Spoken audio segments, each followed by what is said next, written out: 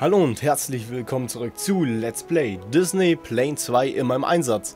Hier im letzten Part haben wir Auto über Bord, das heißt Adrenalin-Junkies aus dem Fluss gerettet, die sich einen Wasserfall runterstutzen wollten. Ja, auf sowas muss man mal kommen als Auto. Die wissen nicht, dass sie sinken, das, das glaube ich jetzt erstmal so. Und jetzt machen wir weiter mit Perfekter Sturm. Ja Leute, betreten wir es gleich. Erfülle die Mission in weniger als 8.15, um die Goldmedaille zu bekommen. Das ist für uns wahrscheinlich nicht allzu möglich, aber wir werden trotzdem unser Bestes geben. Vielleicht klappt es ja diesmal. Wer weiß. Naja, schauen wir da einfach mal rein. Kommt sofort! Wir haben Hinweis über ein Feuer bei der Südmine erhalten. Die Flammen breiten sich schneller aus, als du blinken kannst. Du hast sie gehört. Aufladen alle. Kropphopper, lass uns mal hinfliegen und einen Blick darauf werfen. Erkunde das Feuer der Südmine. Okay, erstmal in die falsche Richtung geflogen, aber macht nichts. Oh, die Jetstreams sind back. Oh, das finde ich doch mal genial. Aber ich, ich verfehle die alle. Yep, echt alle. Komm, den nächsten treffe ich. Ey, das war doch getroffen. Leute, das war getroffen. Jetzt sagt mir nichts Falsches. Basis, hier ist Kropphopper. Ich sehe Flammen vom Mineneingang kommen. Es brennt definitiv da drin. Okay, Kropphopper. Zuerst musst du versuchen, die Flammen im Austreten der Mine hindern. Aber der... Zuerst musst du versuchen, die Flammen am Austreten der Mine verhindern. Oder aus der Mine ver... Musst du die Flammen am Austreten aus der Mine hindern. Stimmt. Dann sprühe Wasser auf den Mineneingang, um das Feuer zu löschen. Sorry, Leute. Geschafft! Hey, wie geschafft?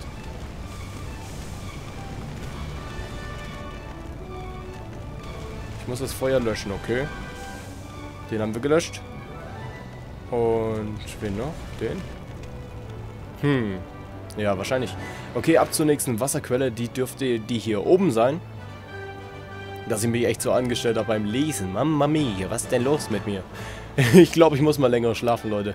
Aber naja, wir haben Ferien. Pfingstferien, ja, Leute. Wir haben heute Anfang der Pfingstferien, wir haben noch nicht mal Pfingsten, wir haben erst Samstag.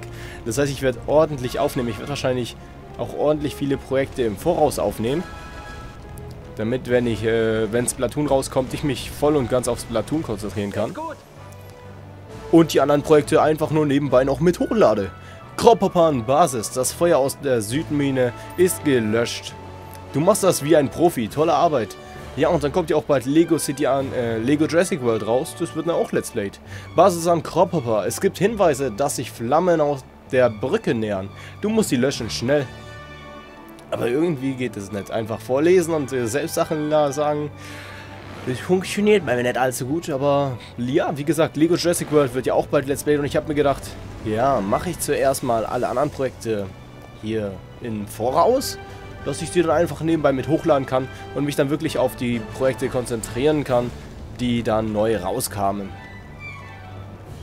So zum Beispiel Splatoon oder Lego Jurassic World. Bald kommt ja auch Yoshi's Woolly World raus, was ich auch Let's Playe. Und zu allen dreien habe ich auch Infovideos gemacht. Zu Splatoon nicht, aber da habe ich ja die Global Testfire Demo sozusagen als ja, Infovideo genommen weil es waren ja sechs Parts geworden. Heute kam der zwei, äh, nee, nicht der zweite, der fünfte raus. Und morgen, also am Sonntag, kommt der sechste und vorerst letzte raus. Ich habe gesehen, am äh, Morgen, also heute Nacht, äh, zwischen 0 bis 1 Uhr, wird es nochmal eine Demo geben. Die werde ich ja auch spielen und euch meine Eindrücke aus dieser dann auch noch mitgeben. Ich werde es dann wahrscheinlich noch diese Woche hochladen. Nee, nicht diese Woche. Nächste Woche. Bevor das Spiel rauskommt, damit wir dann noch ein paar Einblicke mehr haben. Und dann, wenn das Spiel rauskommt, machen wir vorerst erstmal nur Multi, äh, Singleplayer und die Challenges und danach kommt dann immer noch Multiplayer. Sozusagen als Endlosprojekt, wie bei Mario Kart 8 Online auch. Wobei ich merke gerade, Mario Kart 8 Online habe ich eigentlich selten gemacht in letzter Zeit. Ah, das sollte mal wieder kommen einmal. Obwohl ich denke, Mario Kart 8 200 CCM, ja, lassen wir erstmal Mario Kart 8 200 CCM und der Online-Modus kommt dann später irgendwann mal wieder. Jawohl. Kropper, mach das Feuer aus, bevor es den Campingplatz erreicht. Okay, da oben. Aber erstmal wieder Wasser aufladen. Füllen. Ja. Perfekt. Gut. Und das Feuer hier oben jetzt bitte schön löschen. Danke. Warum zieht der eigentlich so eine Luftlinie an der Seite? Der ist doch gar nicht so schnell unterwegs, oder? Oder irre ich mich da? Irre ich mich da? Hm, weiß nicht. Jawohl. Dusty, wir brauchen dich sofort. Das Feuer ist außer Kontrolle hier. Du musst es löschen, bevor es uns erreicht. Okay, machen wir das doch mal. Aber, ja, hier.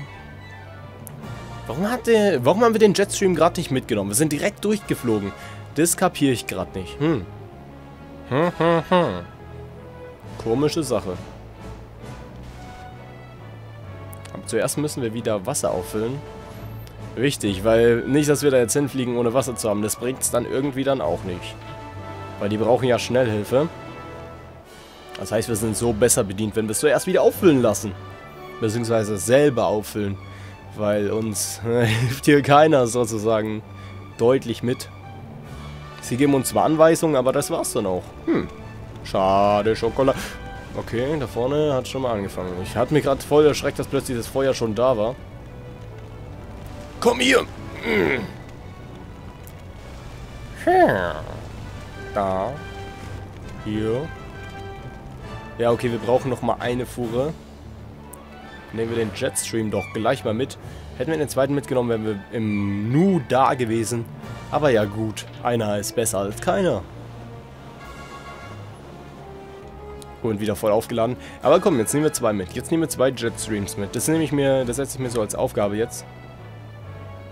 Ersten verpasst. Zweiten mitgenommen. Und, ja okay, einen haben wir mitgenommen.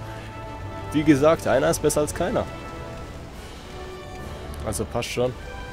Hui. Hui. Jawohl, geniale Leistung. Und was jetzt? Basis an alle Flugzeuge. Wir haben Hinweise zu liegen gebliebenen Wanderern im Augerin Canyon. Kann jemand mal nachschauen? Bin schon unterwegs. Rette die eingeschlossenen Camper. Oh, Camper. Camper, Camper, Camper. Die will... Ja, also in Spielen will sie zumindest keine haben. Aber wir sehen das hier jetzt einfach mal als Simulation an. Also ist es für mich kein Spiel mehr. Wobei es ist eigentlich ein Actionspiel. Ihr seht so aus, als könntet ihr ein wenig Hilfe gebrauchen. Zeit, mich Feuerspringer zu rufen. Aber zuerst will ich hier mal etwas eindämmen vom Feuer. Hui. Und nochmal. Hui. Jawohl. Und Kabi rufen. Was legen wir da eigentlich immer ab? Man weiß es nicht. Aber ich denke, das ist so ein äh, Rauchsignal sozusagen. Sieht aus wie irgendwie eine Ladung TNT, aber das bringt es dann irgendwie auch nicht, wenn man welchen helfen will, dass man da dann TNT platziert, oder Leute? Hm, weiß ich nicht. In meiner richtigen Zeit. Bam, bam, bam, bam. Immer wenn es grün leuchtet, habe ich zur richtigen Zeit gedrückt. Man muss immer drücken, wenn die zwei Pfeile zueinander zeigen. Ansonsten geht es halt immer langsam, aber es bewegt sich ja trotzdem. Und jetzt räumen wir den äh, Schutt nochmal weg. Jawohl. Brumm, brumm, brumm, brumm, brumm, brumm, brumm, brumm, vorwärts. Komm, das Ganze schneller. Mit Sicherheit. Gut. Kommt sofort. Schlechte Nachrichten, Leute. Das Feuer hat sich ausgebreitet zur Nordmine. Wir müssen uns beeilen. Wo ist die Nordmine? Da hinten? Okay. Erstmal wieder Wasserquellen finden. Ja, da drüben, oder? Gut, hier. Können wir es auf dem Weg dahin noch kurz wieder auffüllen? Gut. Das ist kein Lagerfeuer. Hört mal, Leute. Wir müssen diese Feuer löschen. Und zwar sofort. Wir können uns... Äh, wir können das übernehmen.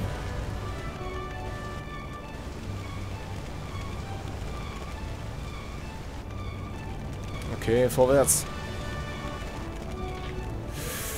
Puh, das sieht schlecht aus.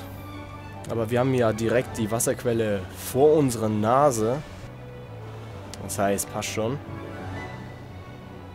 müssen wir uns halt etwas anstrengen. Aber das, das geht schon. Das geht schon klar. Hier unten. Äh, ab hier losfahren. Genau, hier. Zweite gelöscht. Dritte gelöscht. Und hier vorne nochmal. Ist immer kleiner geworden. Wir haben jetzt noch zwei richtige Feuer zu bekämpfen. Ich hoffe mal, die entfachen kein drittes mehr. Weil dann ist es eigentlich ganz easy going. Sozusagen. Jetstreams wären gut, um uns wieder schnell dahin zu, ja, hinzupflanzen. Aber gut, wenn man sie nicht kriegt, dann kriegt man sie nicht. Und ich, bei meinem Skill muss ich das gar nicht versuchen. Komm, hier.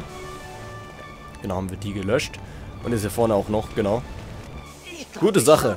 Basis, hier ist Kropphopper. Das Feuer bei der Nordmine ist gelöscht. Großartige Arbeit. Wir haben Hinweise zu eingeschlossenen Rehen in diesem Gebiet. Fliegt mal hin und überprüft das. Oh, noch mehr. Echt? Achso, andere Seite. Zuerst sollten wir wieder unser Wasser auffüllen. Unsere Wassertanks. Damit wir auch für das Feuer, das dort wütet, gewappnet sind. Und auf dahin mit den Jetstreams los. Ja, jetzt gibt's die wieder. Ich freue mich. Ich freue mich wirklich. Weil ich habe die echt irgendwie vermisst. Hier nicht? So ich schon. Okay, und hier? Jawohl. Und auf geht's. Verwende Blade, um die Rehe zu retten. Wir haben ordentlich Einsatzherzen noch. Das heißt, wir hätten hier mega viel falsch machen können und hätten trotzdem bestanden. Aber wenn man es ohne Fehler macht, ist es natürlich noch besser. Okay, komm. Wohin müssen die Rehe gebracht werden? Man weiß es nicht, aber ich denke auf jeden Fall weg von hier, weil hier kann das Feuer bald wieder ausbrechen. Und das ist dann nicht allzu gut. Andere Richtung drehen, genau. Aber die müssen weit weggebracht werden, oder? Ja, schon etwas. Ja, schon ein bisschen was. Aber ich glaube, die Jetstreams sind allgemein immer nur für die Flugzeuge, also für die Flugzeuge und nicht für die Heliko für die Helis gedacht. Für die Hubschrauber. Weil, ja, das bringt ja nichts, wenn man hier so einen Jetstream durchfliegt, ne? Der würde uns eher nach oben pusten, anstatt dass der uns nach vorne bringt. Komm, den zweiten auch schon schnell, äh, auch noch schnell schnappen. Komm. Jawohl. Schnell, schnell, schnell, sonst verlieren wir ein Einsatzherz und das ist gar nicht gut. Das ist echt gar nicht gut. Nein, das ist nicht gut. Es ist schon im roten Bereich. Oben links könnt ihr sehen, wenn die Anzeige voll ist, dann gibt es ein Einsatzherz abgezogen. Jetzt blinkt sie schon. Gefährlich. Runterlassen, schnell. Ja, gut, gut, gut, schnell, schnell, schnell. Jawohl. Gerade so geschafft. Wir haben Hinweise über ein Feuer bei der Südmine erhalten. Die Flammen breiten sich schneller aus, als du blinken kannst. Machen wir lieber mit dem hier, weil der ist, glaube ich, näher dran. Den anderen können wir eigentlich auch mitten nachfliegen, aber ich denke erstmal, dass wir mit dem hier besser bedient sind. Das rechte hat er auch äh, präziser was ablassen kann. Hui. Hui. Hui. Und hier? Genau, zwei auf einmal und der letzte noch. Gut. Ja, passt doch. Wir hätten mit Blade eigentlich ziemlich viel machen können. Hätten alles nicht mit, äh, mit äh, Cropper machen müssen. Aber gut. Jetzt haben wir es halt so gemacht. Passt auch schon. Wir haben es ja bis jetzt geschafft. Und jetzt machen wir halt den Rest noch mit Blade. Whee! Wieder den Wasserspiegel hört. Kropperbahn, Basis, das Feuer der an der Südmine ist gelöscht. Jubel, Cheers! Warte, ich muss an Woo, woo, woo. Ja, okay, das war schon er. Aber ich glaube, das hat sich gerade extrem übersteuert. Sorry dafür. Sieht so aus, als war es das letzte Feuer. Ich habe euch noch nie so gut zusammenarbeiten gesehen. Lasst uns zurück zur Basis fliegen und feiern. Ja, dann ab zurück zur Basis, oder? Ja, steht ja nichts im Weg. Wer war eigentlich näher daran? Ich glaube erstmal, dass... Äh ich glaube, Blade war näher dran, aber egal. Fliegen wir halt den weiteren Weg. Macht auch nicht allzu viel aus.